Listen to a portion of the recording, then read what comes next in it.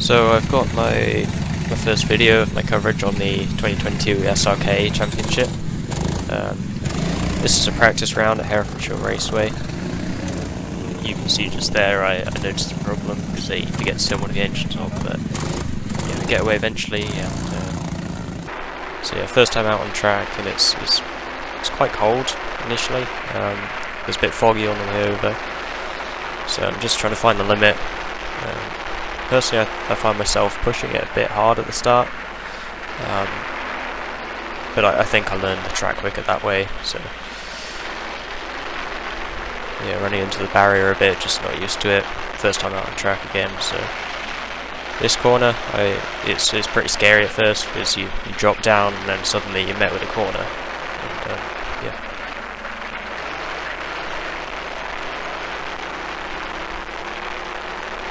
So first flying lap of the session, um, and I've already got somebody ahead of me. This was Michelle. Uh, I'm not sure she's competing in the SRK, but she came along anyway. Uh, she's great. I, I, went with the home move group that I'm with for the SRK2 group in the SRK Championship. And I've got um, Barry Lewis in Dancer and Jason Ford so this coming Sunday, um, I'll be racing with them here. I'll, I'll, also be making a video on it. But yeah, big thanks to the Home Move guys um, for letting me join their team. And I'm super stoked about, uh, about racing for them, with them, um, for the, yeah, the upcoming round on Sunday. And I'm hoping to to get quite a few points for them and you know maybe even take them into the first place for SRK too. So big shout out to Barry and Aiden for letting me race with them.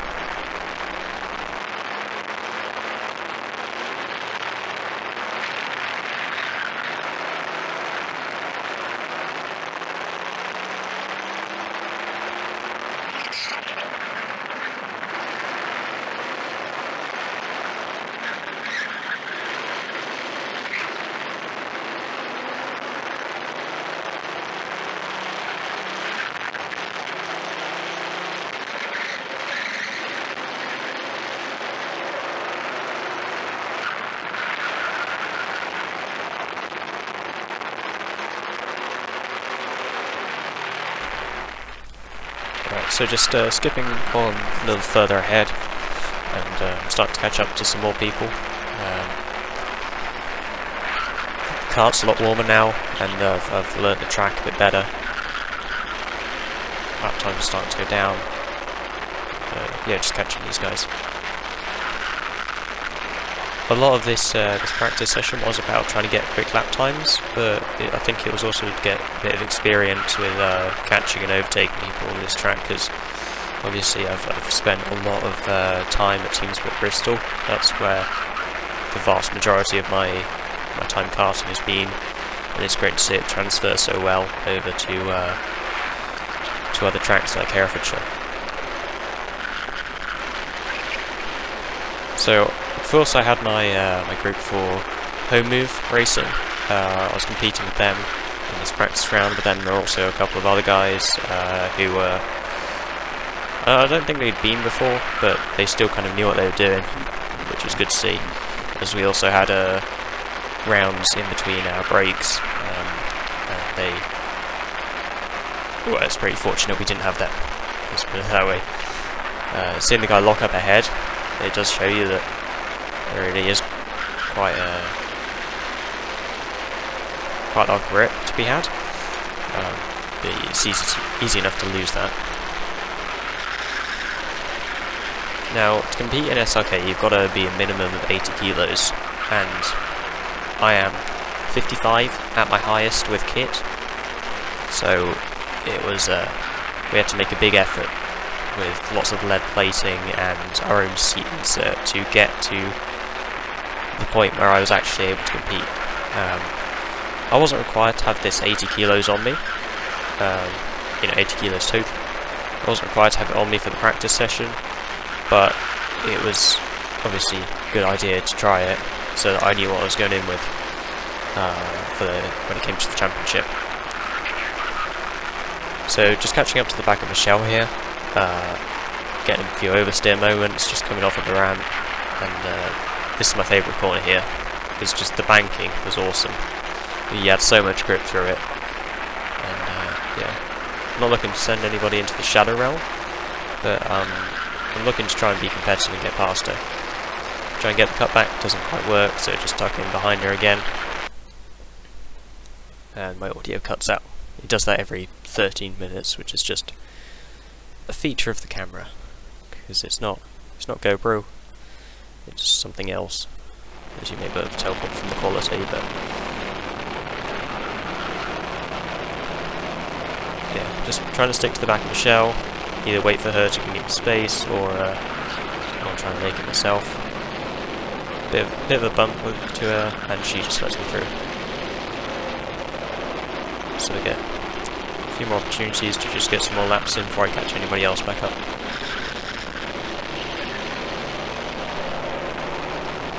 So I've got my fastest lap coming up, uh, even with that oversteer moment coming up to the uh, the line. Fastest lap of session one.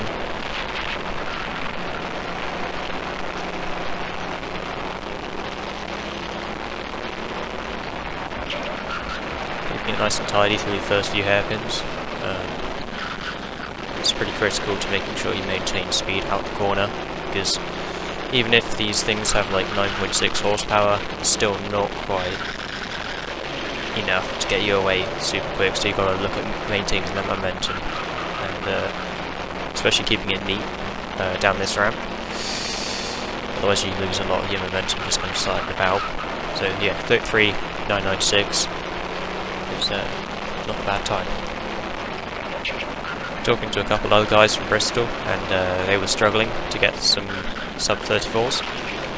So it was, it was quite reassuring to me, as this is my my third time out uh, at an outdoor track, uh, you know, that I'm competitive and that I can get some decent times. So yeah. Session 1 coming to an end, and we just roll into the pits. I think there was a five minute break before we went out for the second one, so uh, yeah.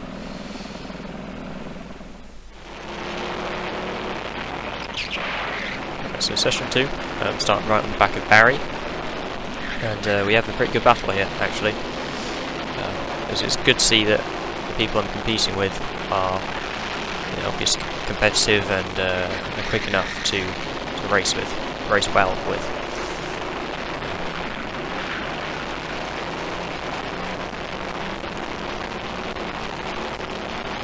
So, just peeling off of him, the back there, make sure I don't run into him, come into that corner, notice I can, I can probably stick to him a bit better. Don't need to give him quite so much room. So obviously I don't want to don't want to hurt these guys, and I don't want to you know push him into a wall or off the track. But yeah, Barry just kind of he makes a bit of a mistake, puts himself uh, a bit wide into the wall, loses his speed, and I just kind of cut my way through. But yeah. So just getting more general running in here. Um, keeping it quite tidy through the first corner there. Tidy through the first hairpin. Bit of understeer on the second one, but just making sure you're uh, prioritising that momentum on exit.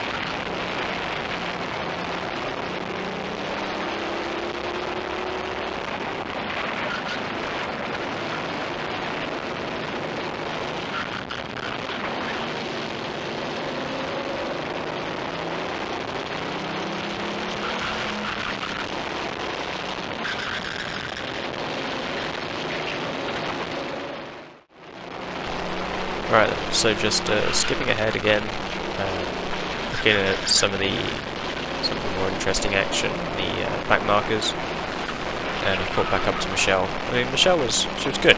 Um, she was really good. I think you'd be you'd be surprised if you tried to race against her. She's really quite quick.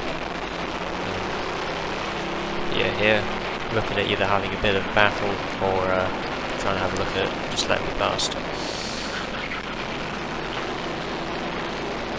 Yeah, I lose the rear a bit coming through that corner, so I completely lose all the momentum and uh, work to get it back up again.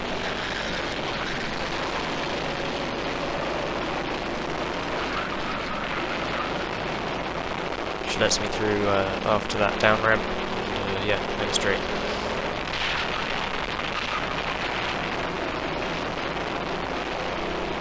At this point, uh, things were really starting to heat up. The the track was warming up as the clouds kind of disappeared from the morning, and it was really starting to get quite hot in the suit. Uh, I had over 25 kilos of weight all in um, for the kart to get me to that minimum 80 kilos, and I think I had five of five of those kilos in my my shorts that I wear under my race suit. Uh, but also you could see just there by the wheel, um, I've got some are supposed to be ankle weights with remo removable sandbags. And, uh, yeah, the Herefordshire track is really quite bumpy, and I've, uh, even still recording this a few days after, I've got big bruises on the inside of my knees, so I'm going to have to fashion some kind of uh, knee protector for that one. Uh, audio cuts out again, which is very helpful. And then I have my fastest lap of session 2 coming up.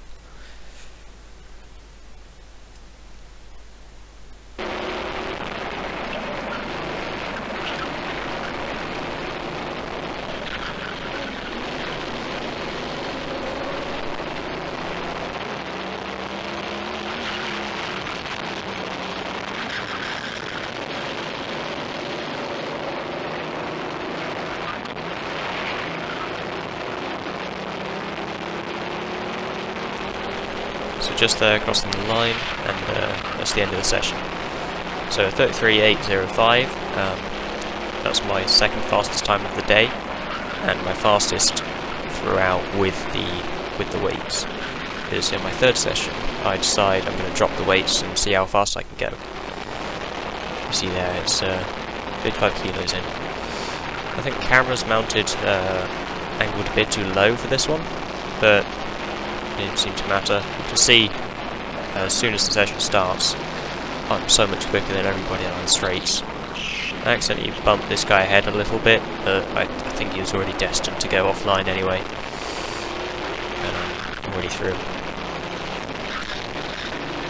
So yeah, um, getting rid of 25 kilos of weight really, really does make a difference to not only the lap times, but also the way the kart handles. I found myself the kart jumping around a lot more. Um, it's a lot more difficult to control, but it does mean you can get more speed out the corners and uh, you can be quicker on the braking zone. You just got to make sure you're you're maintaining the rear of that kart, not letting it run away from you. So now just catching up to some more um, more people, and I've just got to pick the moment to throw it up the inside and try and get past them.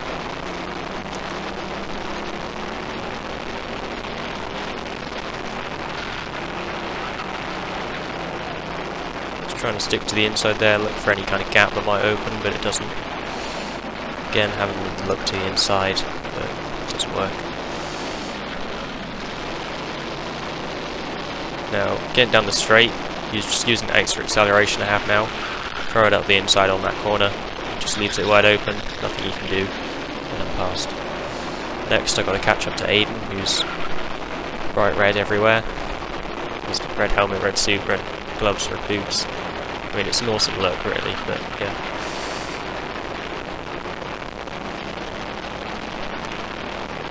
Yeah, you can see the difference in, uh, in times when it comes to reaching that first braking zone. The difference between me and Aiden. Because um, he's still running at his eight, usual 80 kilos, I think it was at this point. Um, but he had only uh, an 11 kilo plate that he was running anyway, so it wasn't a huge amount. Again, just going down the straight, you can see I'm catching up to him. Peel off just before the first corner so I don't go running into the back of him. Another look down the inside, you can see it's not going to work so I just peel off again. So I know last time, he makes a bit of a mistake, I know last time that took it up the inside, so I'll just do that again. I get there a bit earlier this time, so it's a bit safer of a move. Um, but yeah, get past easy enough and uh, more time on track.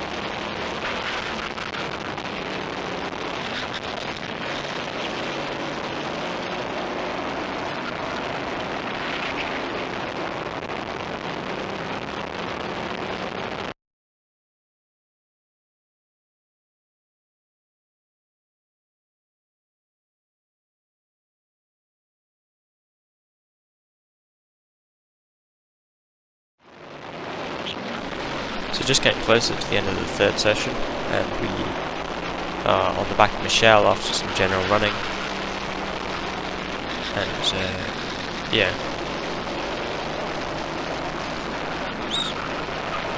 Just using that extra speed down the straight. Um, I think it's probably a bit ambitious to go for a move there, especially if the gap closes.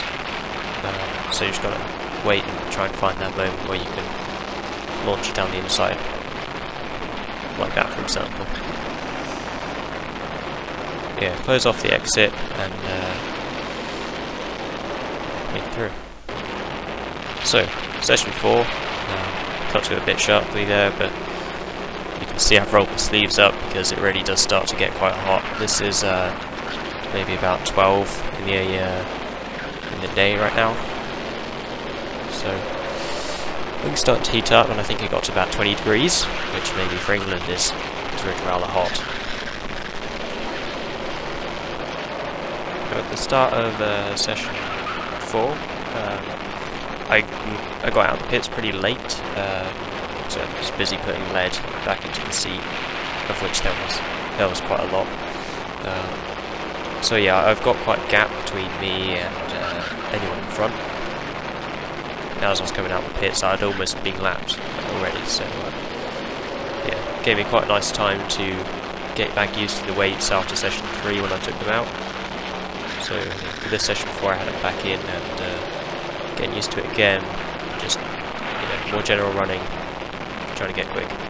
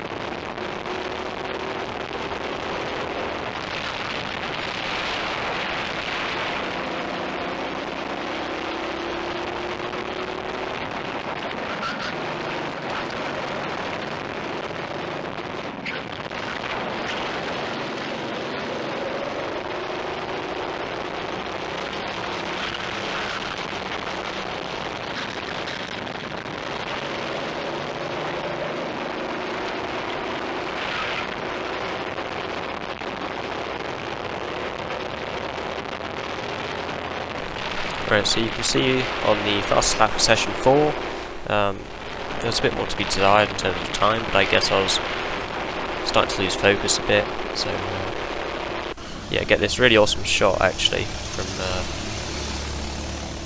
my parents up in the up in the balcony.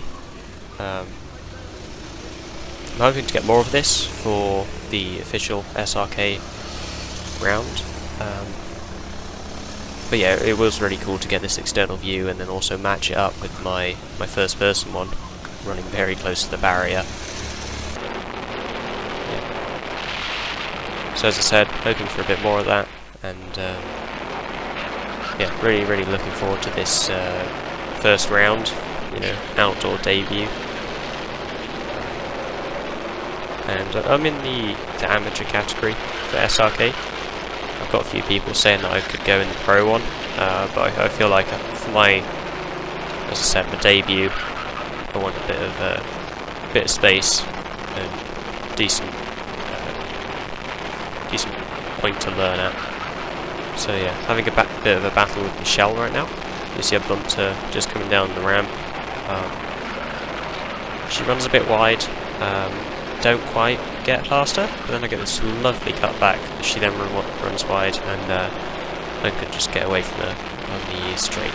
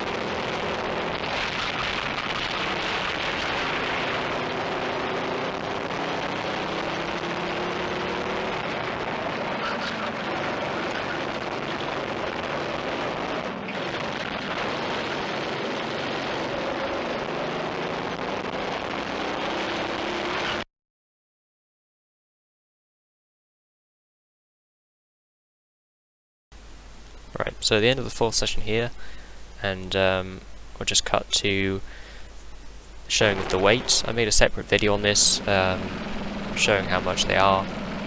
First time doing a voiceover on a video, so, you know, if you enjoyed it, tell me. And, uh, yeah, I'll see you next time. Thank you.